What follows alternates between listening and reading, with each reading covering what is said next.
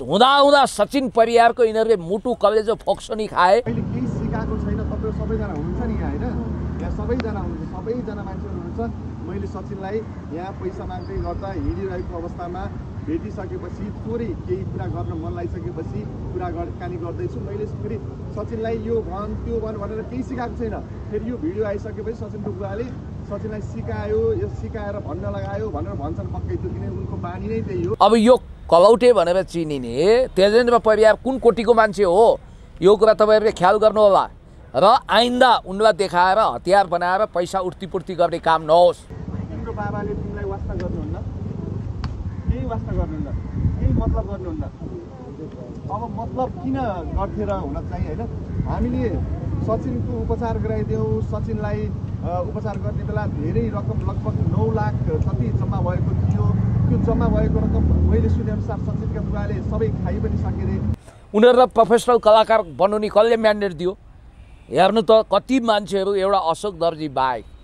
र कमलालाई त आफ्नो फ्यामिलीले जिम्मा ल्याएको छ त्यो बाहेक अरू को चाहिँ कसको चाहिँ भविष्य राम्रो भयो? सके पनि मासी पनि सके रे अब पैसा छैन। सचिनबाट आउने आय स्रोत केही छैन। निचुर्नसम्म आफ्नो छोरालाई निचुरिसकेपछि अब केही सचिनबाट नआउने भइसकेपछि यो अवस्थामा मलाई लाग्छ यो अवस्थामा सचिनलाई छाडेका छन्। जहाँ गए जहाँ जेसुकै गरे गर भनेर छाडेका छन् कि जस्तो लाग्छ। बाबा अहिले घरमै हुनुहुन्छ। सर धर्मको नाउँमा लुट छ। हिजो ठगी धन्दामा संलग्न भएकाहरू आज मा एघार कोटी होम भन्दै हिँडेका छन्। आसाराम बापु बन्न खोजिरहेका छन्। हिजो विदेश पठाइदिने भनेर करोडौँ ठगी धन्दा गर्नेहरू आज अरबमा पैसा सोहिरहेका छन्। यो देशमा त शुद्धता केहीमा छैन। लोक सङ्गीतमा ठगी गीतमा ठगी कलाकारितामा स्क्याम सट्टा गरे उनीमाथि। उनलाई मागी खाने भाँडो बनाए उनलाई हतियार बनाए। र मलाई जहाँसम्म लाग्छ यो निकै विभत्स घटना हो र निकै दर्दनाक दर्द भरा कहानीले भरिएको एउटा दुर्दान्त कथा हो। सचिन परियार सम्झिनुहोस् त उनी आजभन्दा केही वर्ष अगाडि उसको आमा र बुवाको छुट्टा बिन्दी भयो अनि आमा बुवाको झगडामा फ्रेममा राखेर भिडियो खिच्यो। ए बाबा हो सचिनमाथि यो इमोसनल अत्याचार सचिनलाई हतियार बनाएर मागी खाने भाँडो बनाएर कमण्डलु बनाएर यिनले भिक्षाङ देई भनेर कति कमाए कति लुटे। सचिनको रगत खाने भ्याम्पायर हुन्। यिनीहरू सबमाथि कानुनी कारवाही पनि हुनुपर्छ। सङ्गीतको तीर्थस्थल जस्तो ठाउँ। अब तपाईँ कल्पना गर्नुहोस् त्यो एसी पनि थिएन त्यहाँ कुलर पनि थिएन केही पनि थिएन। त्यो ठाउँमा म दुई घन्टा जाँदाखेरि म सोफोकेसनमा परेँ। सचिन चार सौ सुटिङ हुन्थ्यो उनको त्यहाँ। चार सौ। कल्पना गर्नुहुन्छ खाना छैन टाइममा दिसा पिसाब दिनमा चारवटा गरेका छन् दिनरात गरेर। मैले बुझेको छु चौबिस घन्टाभित्र। म र त्यो चारै भाइ थियौँ हामी कामी आएको थियौँ। सचिन कस्तो ड्रेसमा थाहा छ? यो अहिले बच्चाहरूले यसो पार्टीमा लगाउँदैनन्।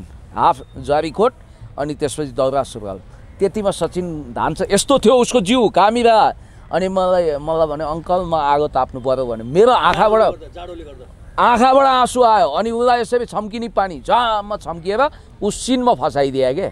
मैले गर्न नसके त्यो दिन सचिनले तिन बजीसम्म सुटिङ गरे रातको। उनको। जिउ फ्रिज थियो। बिहानको। दुई घन्टा सुन्नुहोस् सुन्नुहोस् यो संवेदनशील कुरा मलाई भन्न दिनुहोस्। जो मान्छे दिनमा नौ घन्टा दस घन्टा सुत्नुपर्छ उसलाई दुई घन्टाभन्दा बढी सुत्न दिइएन जो मान्छे त्यो बेलामा इनोसेन्ट जिन्दगी उपचार गर्नुपर्छ स्वास्थ्य लाभ गर्नुपर्छ उसलाई रोगी बनाइयो। उसलाई उसको अमन चयन खलबलाइयो। जो आफूलाई कलाकार पनि सम्झिने अ, ब्रह्म बाँचेका छन् उनलाई नक्कली करोडपति बनाएर नक्कली गाडी साउ बनाएर नक्कली रेस्टुरेन्टको मालिक बनाएर उनी जहाँ काम गर्छन् त्यही रेस्टुरेन्ट उनको हो भन्ने भ्रम पिटाएर झ्याली पिटाएर सोसियल मिडियाले भ्युजको नाउँमा जुन हुर्मत गर्यो नि वास्तवमा त्यो गर्नै नहुने काम गर्यो। त्यो नाटक नौटङ्कीको लागि जिम्मेवार जति तेजेन्द्र परियार छन् त्यति सोसियल मिडिया पनि छ। उनलाई दुरुपयोग गरेर केही मिडिया पनि मालामाल भएको भन्ने मेरो सूचना छ। होइन अब यहाँ ठुल्ठुला यस्ता लोक सङ्गीतको महारथीहरू को को को को अब पछि खुल्दै जाला। र मेरो सुरुदेखिकै आपत्ति के हो भने बालबालिकाहरूलाई सेलिब्रेटी बनाउने उद्योग धन्दा जो चलेको छ यो सब बन्द हुनुपर्छ। किनभने बालबालिकाहरू सौकको लागि रहरको लागि उनीहरूले आफ्नो प्रतिभा ट्यालेन्ट सो प्रस्तुत गर्छन्।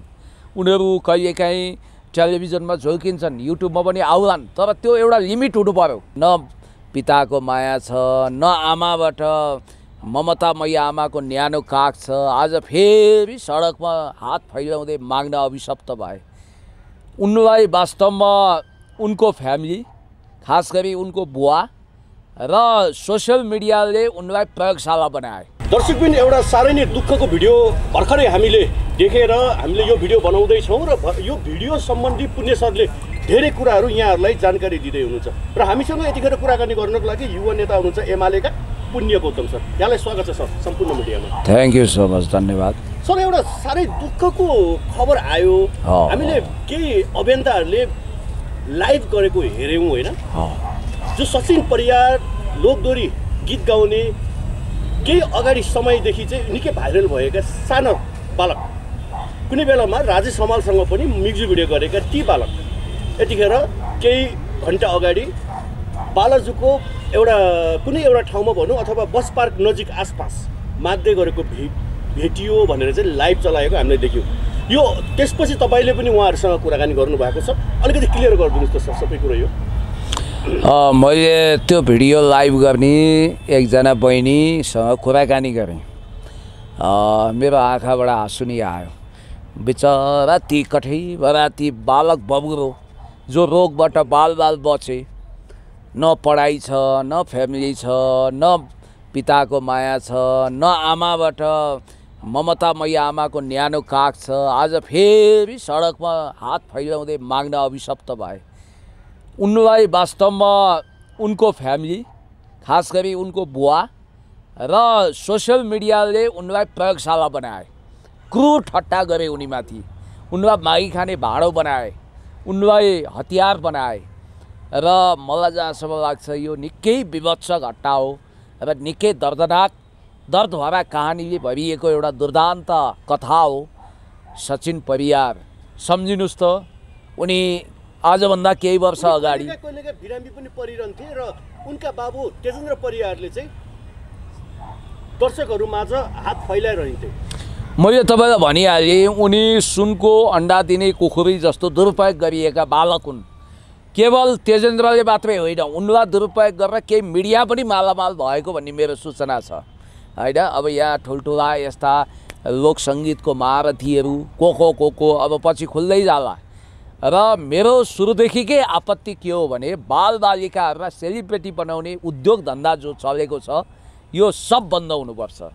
किनभने बालबालिकाहरू सौकको लागि रहरको लागि उनीहरूले आफ्नो प्रतिभा ट्यालेन्ट सो प्रस्तुत गर्छन्। उनीहरू कहिलेकाहीँ टेलिभिजनमा झुल्किन्छन् युट्युबमा पनि आउलान् तर त्यो एउटा लिमिट हुनु पऱ्यो उनीहरूलाई प्रोफेसनल कलाकार बनाउने कसले म्यान्डेट दियो? हेर्नु त कति मान्छेहरू एउटा अशोक दर्जी बाहेक। र कमलालाई त आफ्नो फ्यामिलीले जिम्मा ल्याएको छ त्यो बाहेक अरू को चाहिँ कसको चाहिँ भविष्य राम्रो भयो? वास्तवमा सचिनको लागि आवश्यक के थियो? उनको शारीरिक विकास भएको थिएन हर्मोनको गडबडी थियो उनी रोगी थिए नसाका रोगी छन्। उनलाई एकदमै उपयुक्त उपचार हुनुपर्थ्यो पहिला। उनको जिन्दगी बाँच्नु पऱ्यो। जतिखेर उनले उनको शरीरले उपचार मागिरहेको थियो जतिखेर उनले दैनिक एघार दस घन्टा सुत्नु पर्थ्यो त्यतिखेर उनलाई दुई घन्टाभन्दा बढी सुत्न नदिएर पानी छम्किएर पुसको चिसो ठन्डीमा म्युजिक भिडियो सुटिङ गराइन्थ्यो। मलाई एउटा कुरो अलिकति मैले। अलिकति एउटा कुरो नबुझेको पुण्य सर ती बालकले अहिले बस पार्कको आसपास माग्दै हिँडिरहेको भनेर लाइभ आउँदै गर्दा उनको उनको बुवा तेजेन्द्र परियारको त केही समय अगाडि रेस्टुरेन्ट छ कोटेश्वरमा भनेर त्यत्रो न्युज भाइरल भयो। फेरि त्यसपछि केही दिनपछि त्यत्रो चालिस लाखको गाडी पचास लाखको गाडी भनेर पनि भाइरल भयो के? त्यत्रो करोडपति बाबुको छोरो माग्दै हिँड्छन् र पुण्य सर। अब हेर्नुहोस् कलौटे भनेर परिचित भएका तेजेन्द्र परियार जो आफूलाई कलाकार पनि सम्झिने अ, ब्रह्म बाँचेका छन्। उनलाई नक्कली करोडपति बनाएर नक्कली गाडी साउ बनाएर नक्कली रेस्टुरेन्टको मालिक बनाएर उनी जहाँ काम गर्छन् त्यही रेस्टुरेन्ट उनको हो भन्ने भ्रम पिटाएर झ्याली पिटाएर सोसियल मिडियाले भ्युजको नाउँमा जुन हुर्मत गर्यो नि वास्तवमा त्यो गर्नै नहुने काम गर्यो। त्यो नाटक नौटङ्कीको लागि जिम्मेवार जति तेजेन्द्र परियार छन् त्यति सोसियल मिडिया पनि छ अझ त्यो रेस्टुरेन्टको साहु भनेर अर्का एकजना मान्छेलाई पनि चर्चामा ल्याउने के के गर्ने हेर्नुहोस् एउटा मान्छेलाई बर्बाद बनाउने एउटा बालकलाई बर्बाद बनाउने कथाबाट सुरु हुन्छ यो पतनको कथा। म एकदम जिम्मेवारीपूर्वक भन्छु मेरो अधिकार छ। मैले म पुण्य गौतमले पटक पटक गरेर मैले आफ्नो मि सोसियल साइटमा पनि भिडियो राखेको छु। मेरो टिकटकमा हेर्न सक्नुहुन्छ। अन्त मैले पटक पटक गरेर नगद मात्रै पचास हजार दिएँ। लत्ता कपडा पनि दिएँ। तपाईँ कल्पना गर्नुहोस् सचिनको नाउँमा लाखौँ करोडौँ उठ्तीपुर्ती भयो। पछिल्लो समय मात्रै लाखौँ रुपियाँ उठेको देखिन्छ। टिचिङ हस्पिटलमा मात्रै भिडियो खिचेर हेर्नुहोस् न। अब त्यो लाखौँ रुपियाँ आज कहाँ गयो? याद गर्नु होला। के बियर पार्टीमा गयो सोखमा गयो डिस्को डान्समा गयो अनि बिचरा मैले अघिदेखि तपाईँलाई भन्थेँ लौ न हजुर दस पाँच रुपियाँ दिउँ भनेर हिँड्नुपर्ने अवस्था आयो आज सचिनको बस पार्क बस पार्कमा योभन्दा दुःख विडम्बनाको कुरा के हुन्छ केही हुन्छ सचिन भनेको होइन, कानुन प्रशासन कहाँ छ यस्ता अनुसन्धान गरेर बिचरा त्यो बाबुको जिन्दगी होइन पहिलो कुरो त? उसको बुवामा। उसको बुवामाथि पनि बिग्रेन। अनुस बिग्रिनी उसको स्वास्थ्य जिन्दगी नै बर्बाद गरिदिइसके त अहिले सचिन कतिमा पढ्छन् नाटक गर्ने कसले स्कुलमा भर्ना गरेको उनलाई। त्यो जिम्मेवार हुन्छ हुनुपर्छ कि पर्दैन? मैले आफूले जिम्मेवारी बोधका साथ भनेको छु म बोर्डिङ स्कुल पढाउन सक्दिनँ भने नि सरकारी स्कुल भर्ना गराउँछु म। म गराउँछु दिस इज बी पुण्य गौतम अहिले पनि भन्छु। म गराउँछु म कानुनी रूपमा उनको जिम्मा लिन तयार छु। हामीलाई किन हस्तान्तरण गरिँदैन? अनि संस्थालाई किन दिइँदैन?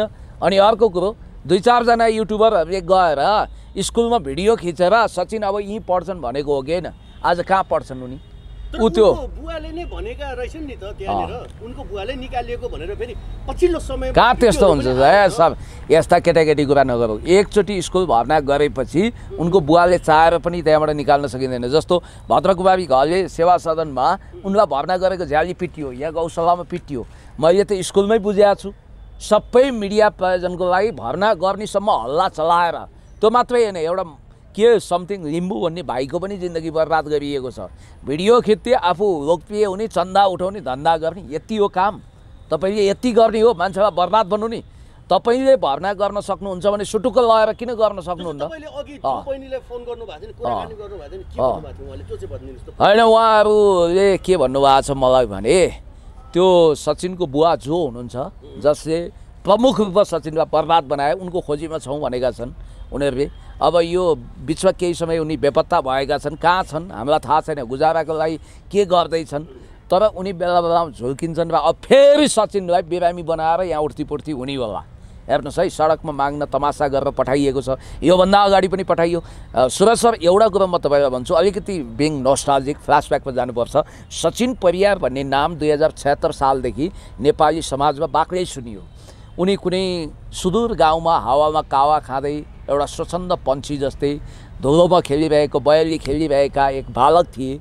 कुनै सोसियल मिडिया कर्मी गयो भिडियो खिच्यो त्यसपछि सुरु हुन्छ उनको बर्बादीको कथा। धेरैलाई आवाद गरेर आफू बर्बाद भए अनि उनलाई ल्याइन्छ लोक सङ्गीतको तीर्थस्थल जस्तो ठाउँ। अब तपाईँ कल्पना गर्नुहोस् त्यो एसी पनि थिएन त्यहाँ कुलर पनि थिएन केही पनि थिएन। त्यो ठाउँमा म दुई घन्टा जाँदाखेरि म सोफोकेसनमा परेँ। सचिन चार सौ सुटिङ हुन्थ्यो उनको त्यहाँ। चार सौ कल्पना गर्नुहुन्छ खाना छैन टाइममा दिसा पिसाब दिनमा चारवटा गरेका छन् दिनरात गरेर। मैले बुझाएको छु चौबिस घन्टाभित्र अनि एउटा यो पछ्यौरी रेसियो भन्ने जो नेपालको इतिहासकै बढी भ्युज कलेक्सन गर्ने म्युजिक भिडियोमध्ये एउटा बन्छ। म मेरो थोरै अनुभव तपाईँलाई राख्छु। यसो हेर्छु। त्यो सम्भवतः नेपालको जनसङ्ख्याभन्दा बढी पैँतिस छत्तिस मिलियनले हेरेको छ त्यो। टिकटकमा त्यति के अरे युट्युबमा भ्युवर्स छ टिकटकमा त कति हो कति। त्यसको सुटिङ त्यो माथि धर्मस्थलीमा भएको थियो अब म त्यो ज्याकेट लगाएर भित्र स्वेटर लगाउँदा पुसको ठन्डीमा लगलग कामिरहेको थिएँ के। म र त्यो चार्ली भाइ थियौँ हामी कामिरहेको थियौँ। सचिन कस्तो ड्रेसमा थाहा छ? यो अहिले बच्चाहरूले यसो पार्टीमा लगाउँदैनन्। हाफ जरीकोट अनि त्यसपछि दौरा सुरुवाल। त्यतिमा सचिन धान्छ यस्तो थियो उसको जिउ कामिरा। अनि मलाई मलाई भने अङ्कल म आगो ताप्नु पऱ्यो भने मेरो आँखाबाट आँखाबाट आँसु आयो। अनि उसलाई यसरी छम्किने पानी झ्याममा छम्किएर उसिनमा फसाइदिए के मैले गर्न नसके त्यो दिन सचिनले तिन बजीसम्म सुटिङ गरे अरे रातको। फ्रि उनको। जिउ फ्रिज थियो। बिहानको। दुई घन्टा सुन्नुहोस् सुन्नुहोस् यो संवेदनशील कुरा मलाई भन्न दिनुहोस्। जो मान्छे दिनमा नौ घन्टा दस घन्टा सुत्नुपर्छ उसलाई दुई घन्टाभन्दा बढी सुत्न दिइएन जो मान्छे त्यो बेलामा इनोसेन्ट जिन्दगी उपचार गर्नुपर्छ स्वास्थ्य लाभ गर्नुपर्छ उसलाई रोगी बनाइयो। उसलाई उसको अमन चयन खलबलाइयो। उसको आमा र बुवाको छुट्टा बिन्दी भयो अनि आमा बुवाको झगडामा फ्रेममा राखेर भिडियो खिच्यो। ए बाबा हो सचिनमाथि यो इमोसनल अत्याचार।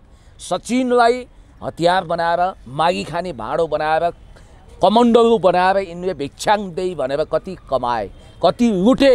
सचिनको रगत खाने भ्याम्पायर हुन्। यिनीहरू सबमाथि कानुनी कारवाही पनि हुनुपर्छ। एउटा कुरो।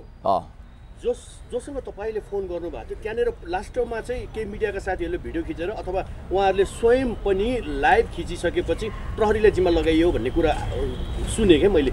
यो तपाईँले बुझ्नुभयो कि भएन? लास्टमा चाहिँ उहाँहरूले चाहिँ अब बिचरा त्यो बाबुलाई फेरि एक्लै कहाँ लाने अब घर देखेको छैन बरु त्यो हराउला होला बरु प्रहरीलाई नै जिम्मा लगाइदियो भने त आधिकारिकता होइन म साथीहरूलाई पनि के भन्छु भने नि भिडियो यस्तो ठाउँमा नखिच्नुहोस्। इट्स टु मच अब भिडियो नखिचौँ। तपाईँको चिसो चुलो जलाउन अब सचिनमा प्रयोग नगरौँ म यो भन्छु। हो लाइभ खिच्ने बहिनीको उद्देश्य त्यो भिडियो खिचेर कमाउँ भन्ने छैन। तर मिडियामा यस्ता भिडियोहरू धेरै नल्याउँ क्या। जसले एउटा गलत म्यासेज दिइरहेको छ तपाईँलाई म भनौँ एउटा लिम्बू भाइ बर्बाद हुनुभयो। म नाम लिन्न ती लिम्बू भाइको बारेमा सबैलाई थाहा छ। उनी पढ्ने आदि इत्यादि भनेर फन्डा गरियो। उनी बर्बाद भए। एउटा अशोक दर्जी धन्न पढिरहेछन् के अरे कमलालाई आफ्नो फ्यामिलीले जिम्मा लिए आयुषालाई आफ्नो फ्यामिलीले जिम्मा लियो। म भन्छु बालकहरूलाई कलाकार बनाउने अपराध नगरौँ। म भन्छु सोखको लागि अब यसो त्यो रेग्मी भाइहरू अनुभव रेग्मीहरूले खिचे उनीहरू टिनेजरबाट पनि अब युवा भयो होला नि के भयो? त्यो बेग्लै कुरा हो। उनीहरूको आफ्नो घर छ परिवार छ सबै छ। तर एउटा गरिब बालबालिकालाई पढ्नुपर्ने उमेरका कलिला मस्तिष्कका बालबालिकालाई ल्याएर ए बाबा मेरो छोरोको कत्रो रुचि छ तर म कलाकार बन भनेर उसलाई लिएर आउँदिनँ नि। भाइरलको मोह हो भने उसलाई सयवटा क्यामेराले खिचिहाल्छ नि। ऊ ट्यालेन्ट पनि छ सबै छ। त्यो होइन नि त सर। मुख्य कुरो भनेको अब आइन्दा खबरदार। फेरि सचिनको यो आँसु देखाएर यो व्यापार गर्ने धन्दा बन्द होस्। सचिनलाई म भन्छु। सुन्नु सचिनलाई अब दुईवटा कुरा गर्नु पऱ्यो राज्यले जिम्मा लिनुपर्छ म कुरा गर्छु। मलाई यदि यसको जिम्मेवारी दिने हो भने मलाई म एकदम स्वयंसेवाको भावनाले म धार्मिक मान्छे पनि हो आध्यात्मिक मान्छे पनि हो पढाउने र उपचार गर्ने जिम्मा हामी लिन्छौँ। निस्वार्थ ढङ्गले। हामी भनी म म मात्रै होइन। यहाँ त सर धर्मको नाउँमा लुट छ। हिजो ठगी धन्दामा संलग्न भएकाहरू आज महायज्ञ र कोटी होम भन्दै हिँडेका छन्। आसाराम बापु बन्न खोजिरहेका छन्। हिजो विदेश पठाइदिने भनेर करोडौँ ठगी धन्दा गर्नेहरू आज अरबमा पैसा असुलिरहेका छन्। यो देशमा त शुद्धता केहीमा छैन। लोक सङ्गीतमा ठगी गीतमा ठगी कलाकारितामा स्क्याम। हुँदा हुँदा सचिन परियारको यिनीहरूले मुटु कलेजो फोक्सोनी खाए र मलाई एउटा सम्झना हुन्छ फादर एन्ड सनमा इभान तुर्गिनेवले भनेको पिता तिन प्रकारको हुन्छ अरे क्या सर? सुन्नु न। एउटा अदम पिता एउटा मध्यम पिता एउटा उत्तम पिता। अदम पिता त्यो जसले आफ्नो सन्तानको रगत चुस्छ भ्याम्पायर हुन्छ। पिताले छोरालाई बदनाम गरेर अपमान गरेर वा बजारमा बेचेर आफ्नो जिउ पाल्छ। अर्को मध्यम पिता भनेको माया पनि गर्ने ठिक ठिकै। अर्को उत्तम पिता भनेको आफू रितिएर पनि सन्तानको खुसीलाई हाइलाइट गर्ने अथवा त्यो खुसीलाई प्रज्वलित गराउने। अब यो कलौटे भनेर चिनिने तेजेन्द्र परियार कुन कोटीको मान्छे हो? यो कुरा तपाईँहरूले ख्याल गर्नुहोला। र आइन्दा उनलाई देखाएर हतियार बनाएर पैसा उठ्तीपुर्ती गर्ने काम नहोस् म यो भन्छु। हस् पुण्य सर समय समाजको लागि यहाँलाई धन्यवाद थ्याङ्क यू सो मच